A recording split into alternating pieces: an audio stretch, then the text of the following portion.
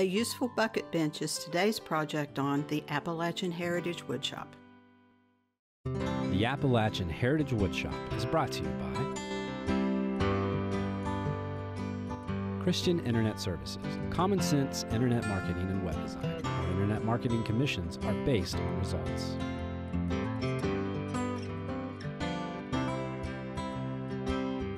Robinson and McElwee, thinking business, practicing law.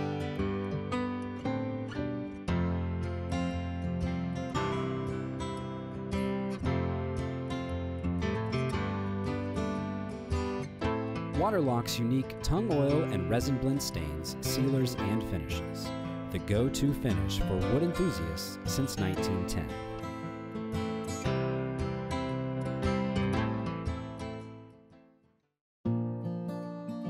The Appalachian area is comprised of 13 eastern states covering 205,000 square miles of rugged, mountainous terrain. It stretches from New York to Mississippi, with West Virginia being the only state totally encased in the area. When this region was first settled, the immigrants had to travel over the Appalachian mountain range with only what they could carry or haul by wagons. They would make furniture and other wooden items that were necessary and functional.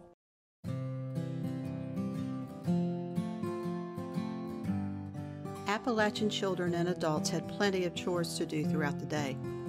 The mother took care of the household, the father worked in the fields or worked in the mines.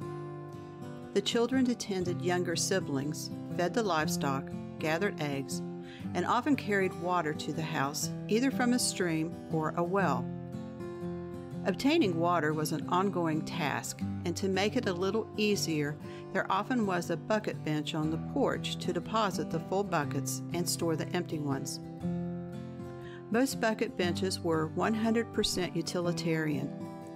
Rough lumber harvested on the farm was nailed together with cut nails to make a crude bench, large enough to hold a couple of buckets. Some bucket benches, however, were more refined with separate shelves for full and empty buckets.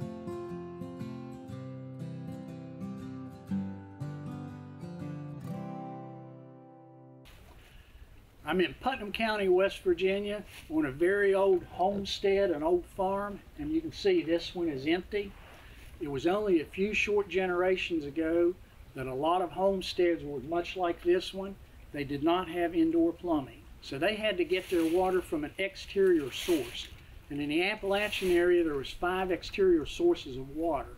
They would have a, a well, it could be a hand dug well or a drilled well with a hand pump where they could have a running creek or stream or river nearby. Uh, another option would be a lake, a pond, or a reservoir. And the fourth would be to catch the water as it comes off of the roof of the house or the barn or the cellar and divert that to a wooden bucket or an underground uh, cistern. And the fifth and the, the most preferred type of water would be a spring. In the Appalachian area with the uh, rugged mountainous terrain, there were a lot of springs. So when they would find one, they would drive a pipe back into the ground where the water would be seeping out and extend the pipe out beyond the ground and put a wooden trough or a tub underneath it to catch the water. So it didn't matter which of these five sources of water they would use, they would have to carry them from the source to the house. And that would be a daily activity or a chore that would be given to the young people in the family because the older ones had more important chores in order to survive the harsh elements of the Appalachian lifestyle. So they would put the buckets on a designated place, and that would be called a bucket bench. And here's an example of three different types of bucket benches. Now, this is one that I put together using some reclaimed wood and some nice hardwood, some cut nails. This is typical of construction of a of a bucket bench from several generations ago. Here's my rendition of a modern bucket bench. I've got some nice five quarter walnut on top, and then I've got some eight quarter uh, ambrosia maple for the legs, and the stretchers are walnut also. This is very similar, it's just cherry and ambrosia maple. These are nice. There's no mechanical fasteners in those. Here is another style of bucket bench. This is referred to as a case bucket bench. And as you can see, there's multiple shelves. And what's unique about these is the shelves diminish in depth as you come up the case. The buckets of water would be placed on the bottom shelf. The upper shelves would hold whatever accessories were needed in order to use that water. So it could be a ladle or a bar soap or a rag. Now over here is another style. This is referred to as a working bucket bench. And as you can see, there's a place down below to put the buckets of water. And up here at an elevated height is a well. And this is where they would actually perform the tasks such as cleaning vegetables or preparing a meal. So all three of these types of bucket benches were common in the Appalachian area. So if you want to see how to build one of these bucket benches, let's go back to the Appalachian Heritage Woodshop and I'll show you how to build it. It doesn't matter if you're using hand tools or machinery in your shop. You need to know the safe way to operate your equipment. Make certain you have the proper safety equipment and most importantly, use your PPE. Be safe and enjoy your shop time. I'd like to go over some of the design features of the bucket bench. Now, if you remember, there are three types of bucket bench. This is the first generation or primary type of bucket bench, and this is the one that the name bucket bench is derived from. Historically, this would have been made with four legs, two on each side, or a large board on each side for a leg. Now, when there is one board for a leg, there is a cutout at the bottom, either an arc, a square, or a sharp triangle. And there's a reason for that. It is less likely to wobble if you have four feet, two on each side, as opposed to one long foot. Because if the surface that it's setting on is slightly out of flat, with a long flat surface, it'll rock. With four feet, it's less likely to rock. So what I'd like to do is go over some of the construction methods that I used for this particular bucket bench. Let's start with the legs. If you notice, the legs are splayed out uh, three degrees. That is to ensure that it is stout and will not rack. The leg is attached to the top with a loose mortise and tenon joinery. Now that is a very old joint, but there is a machine that has been manufactured recently that is used just for loose mortise and tenon, and that's called a domino, and I'll show you how to do that. And remember, with this splayed out at three degrees, you've got to account for that. So both, both mortises have to be three degrees and line up perfectly, and I'll show you how to do that. The stretcher down here is used to ensure that the feet do not wobble. And if you notice, they protrude beyond the end of the leg about 3 eighths of an inch. And there's a reason for that. When these were made uh, by our uh, forefathers several generations ago, a lot of times they just nailed it together. If this was cut flush with the end of the leg and a nail driven in there, there's a very good chance that over time it would split. So they would allow this to protrude out beyond the edge so it minimizes the opportunity for that to split. And that's a nice little detail, and I carried that through on this design. I like that feature. Now the stretcher sets into a dado, and that could easily be done with a handsaw, a marking gauge, and a chisel.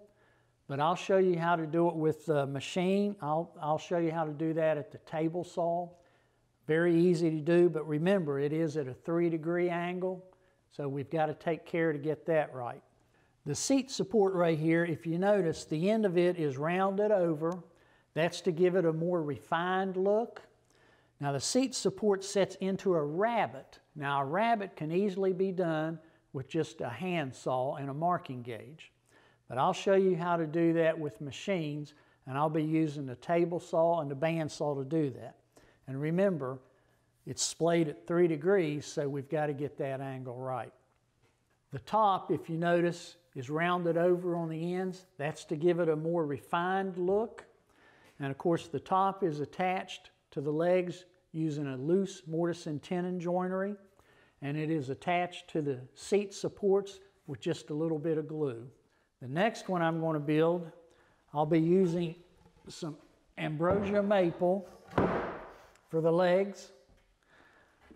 And I'll be using some nice clear walnut for the top. So let's take these boards over to the jointer and planer and I'll show you how I dimension these. Okay, this piece of ambrosia maple, which will be one of the legs for the bucket bench, is too wide to go across my 10 inch jointer. So I took it to the bandsaw and ripped it. And now I can run half of it through the jointer to give me a good flat surface.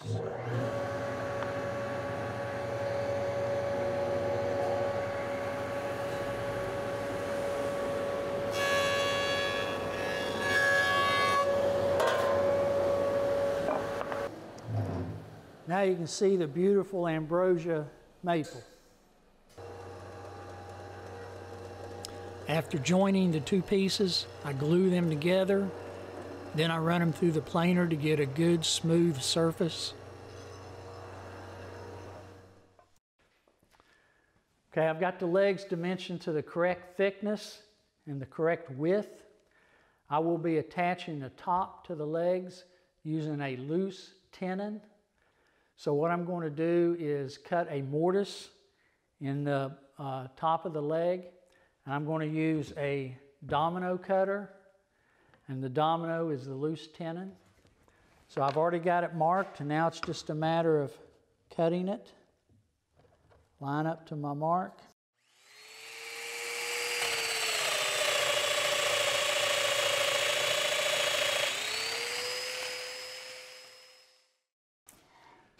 Okay, now I'm at the large bandsaw. I've used the top apron to set the distance from the blade to my fence. And now I'm just going to cut out the small piece there.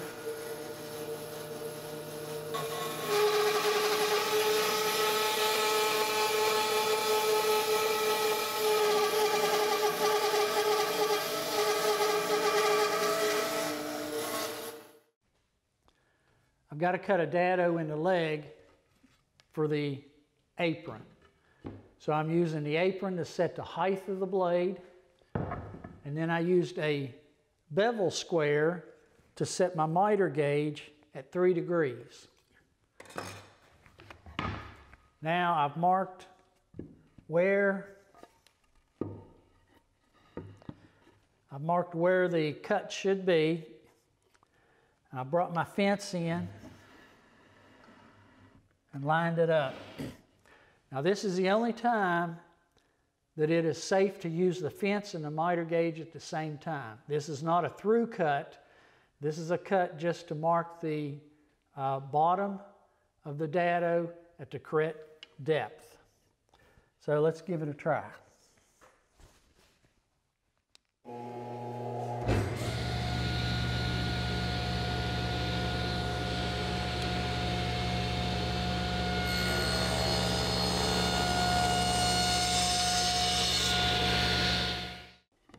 Okay, now I've cut a groove in the legs for the bottom apron. And now I'm going to remove all the waste with the dado blade.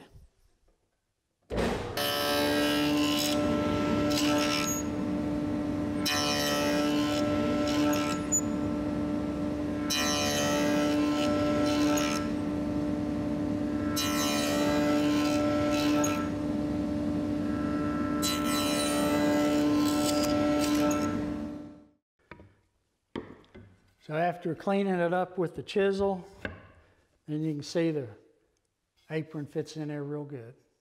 I want to show you when you're going to make a sharp turn, a contour cut on the bandsaw, it's easiest if you make some relief cuts. And I'm going to show you now what the relief cuts are.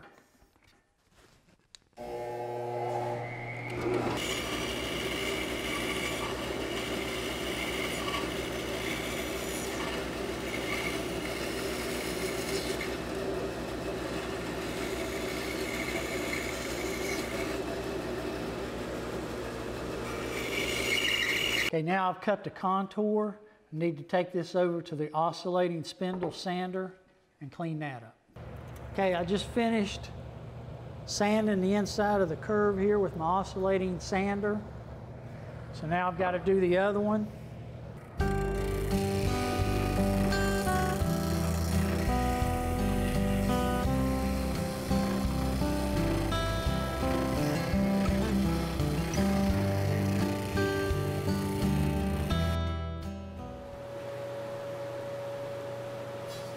Already face jointed and planed the top to the correct thickness and now I'm edge joining the edge and then I'll rip it to the correct width.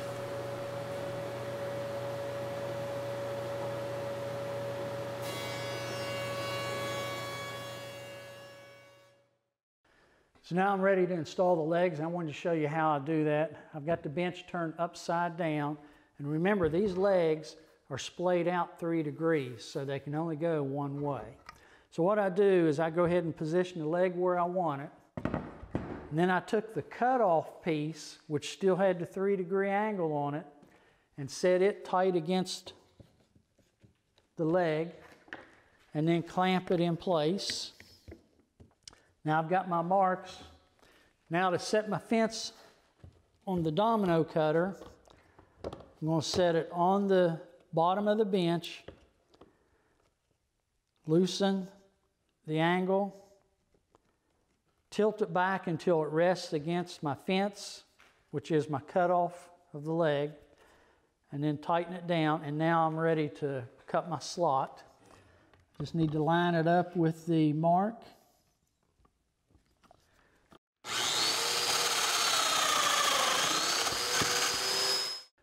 Okay, I've already gone ahead and contoured the seat support and I've cut the stretchers at an 87 degree angle.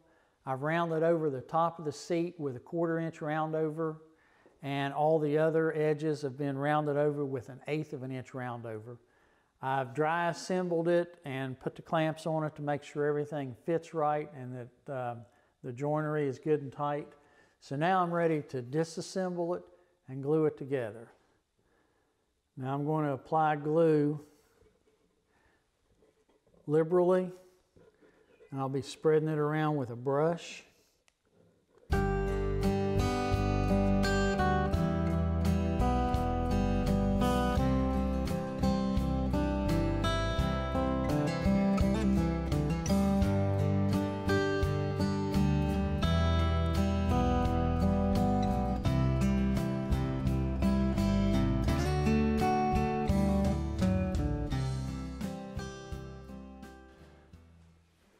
I like to have a wet rag handy. So if I get any glue on the exposed surface, I can wipe it up immediately. That will also get the surface wet. So any glue squeeze out's not going to be an issue.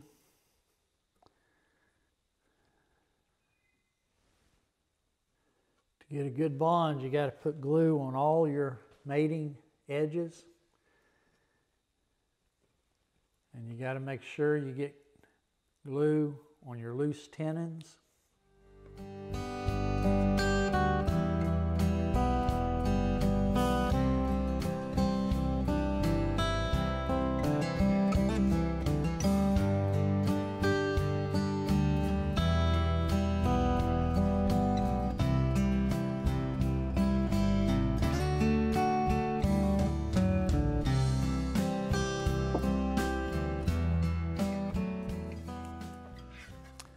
I can put my seat supports on.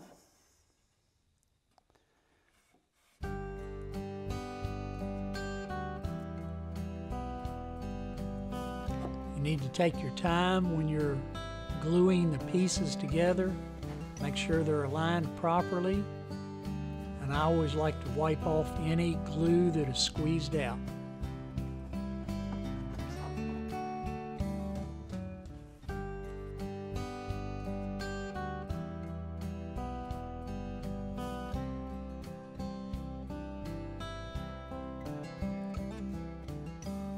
Glue is a lubricant before it is an adhesive. So when you apply clamping pressure, you need to make certain the boards do not slide out of alignment. So it takes a little bit of time to ensure that the clamping pressure is properly applied.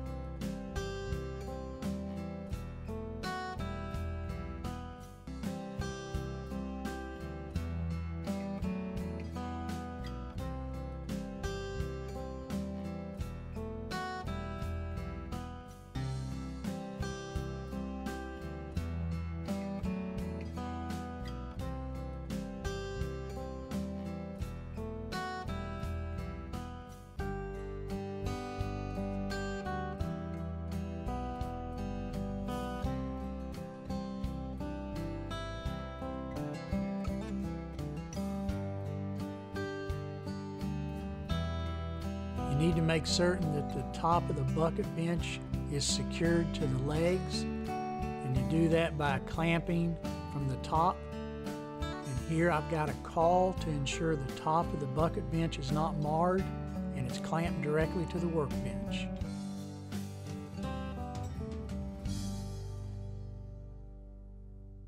Okay, now I've removed all of the clamps. And now what I'm going to do is take my little uh, trim router with an eighth of an inch round over and round over the edge of the seat support and the stretchers.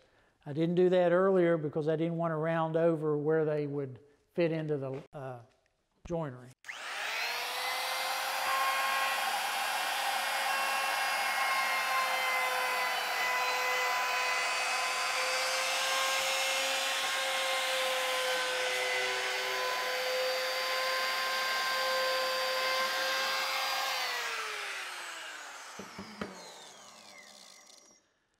Now I'll do that to the other side and to the bottom and a little bit of hand sanding and then it'll be ready for a finish.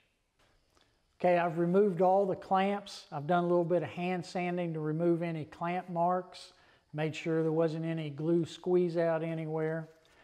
Now what I've done is put down a little bit of uh, kraft paper on top of my workbench, turn this upside down because I like starting with the inside and working out.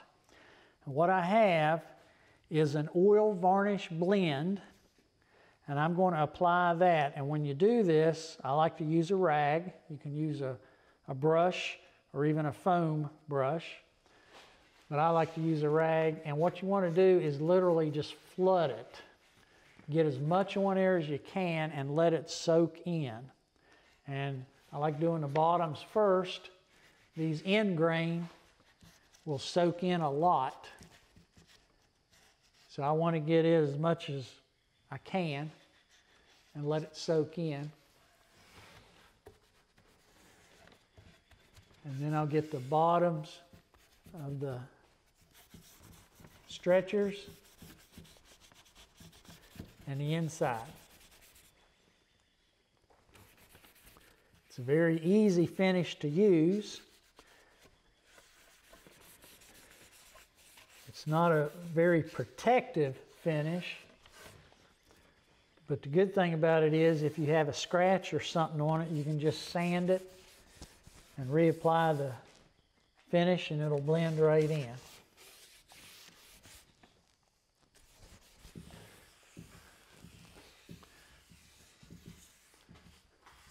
Okay, now what I need to do is let this set for about 10 to 15 minutes and then I'll take a rag and wipe up any excess if there's any places that it's all soaked in, I'll give it a little bit more and then just clean it up and let it dry. Hope you enjoyed this episode featuring the bucket bench. In future episodes, I'll be highlighting a specific piece of furniture or a wooden item that was utilized in the Appalachian area for a specific task. Because that task is no longer performed, then that piece of furniture or that wooden item is no longer made and no longer utilized. So come back to the Appalachian Heritage Woodshop where you'll learn more about some of the relics from the past.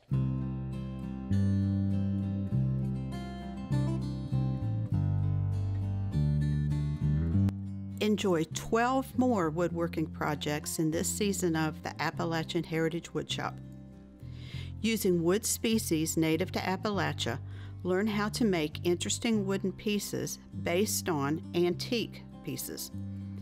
Traditional joinery, like hand cut dovetails, complement modern joinery techniques. Featured items include a schoolmaster's bookcase, a handy dry sink, a challenging wash stand, and a fun checkerboard project, among others.